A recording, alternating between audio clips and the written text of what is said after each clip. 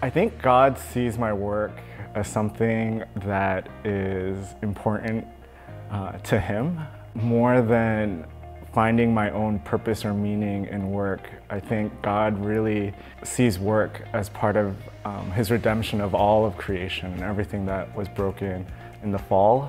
He's with me in my struggles at work, but He's also with me in the creativity, the joy, and the excitement of work.